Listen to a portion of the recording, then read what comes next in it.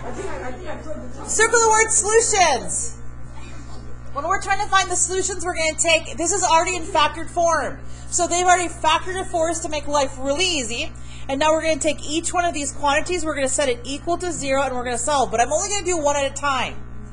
So I'm going to subtract 5 to the opposite side, and I'm going to divide by 2, and now I'm going to go through and I'm going to cancel out any multiple choice option that does not include negative 5 halves. Cancel, cancel, cancel. We have a 50% chance of getting it correct. I'm doing the next one. 3x minus 4 equals 0. I'm adding 4 to the opposite side. I'm dividing by 3, and I have a positive 4 thirds. Correct answer is C.